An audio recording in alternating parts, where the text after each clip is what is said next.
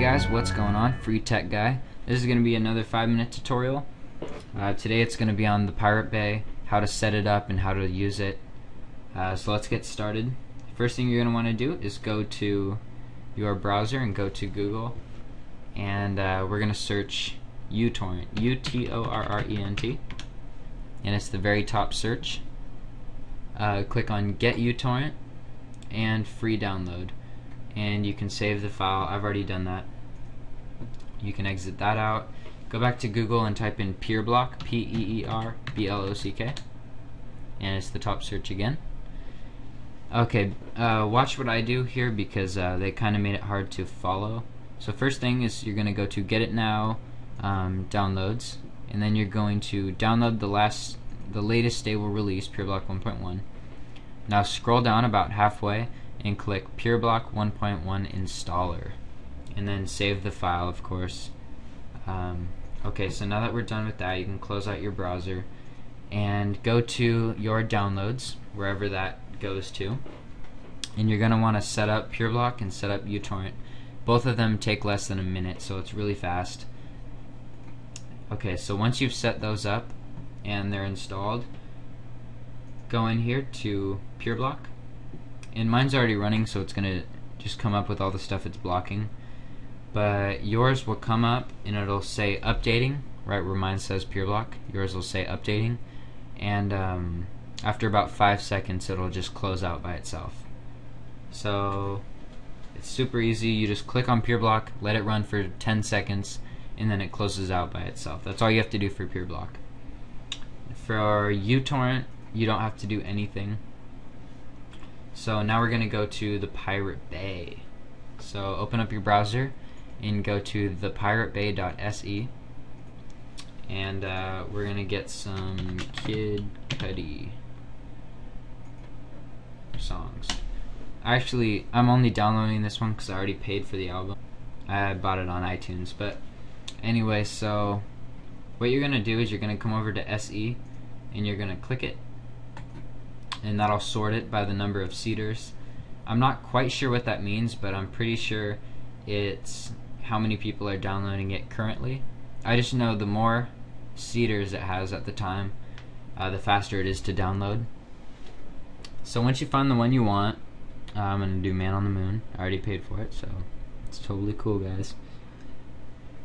I'm going to scroll down and I'm going to, excuse me, I'm going to look at the reviews. Downloaded very quick, thanks. Um, la la la la la la la la. Thanks, great album. Thanks, nice seeders. Blah blah blah. You know, good stuff. All right. Once you see that's good stuff, uh, 21 files. Click on this little magnet sign. Get this torrent. Just click on that link, and it'll open up uTorrent by itself. And um, right click on the file and go down to advanced set download location and uh, set it to wherever you want. I'm gonna save it to man on the moon 2 and then uh, I might need to speed it up because uh, it'll probably take a couple minutes. So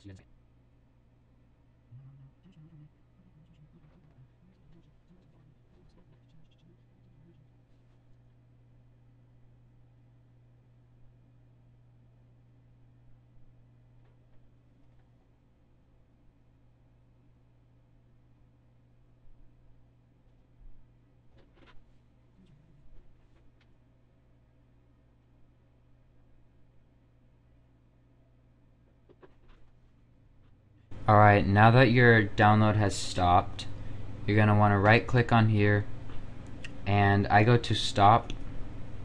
I don't seed it. Uh, I'm not comfortable with people like downloading off of my computer. That's basically what seeding is. Um, so I right click and click stop. Now I go to where I just minus it, don't exit it out. Um, I go to where I saved it which is in music, um, Man on the Moon. And so you can see all these tracks. Uh, so it looks good. Anyway, so that's how that's how you download something on uh, Pirate Bay, then you can go back to uTorrent and I right click, go down to remove and data. Don't click don't click torrent or torrent and data um, because then it deletes everything you just downloaded. If you delete data, uh, I don't know what it does, but it just I don't know. That's just what I learned how to do, and uh, works good for me. So now there's nothing in your queue, and you can just exit out of uTorrent and uh, enjoy your music or whatever you downloaded. Don't be downloading stuff too much. Whatever provider you have, they can see if you download quite a bit. They can tell that something's up and they will warn you about it. So if you ever get a warning, I would definitely stop because you can get in trouble. Just remember this is for educational purposes only. Don't do anything that will get you in trouble or yeah, just don't be stupid, I guess. Thanks for watching my tutorial. Uh, if you guys would please subscribe to my videos, it would mean so much to me. I put out five videos a week. Thank you guys. Have a good one.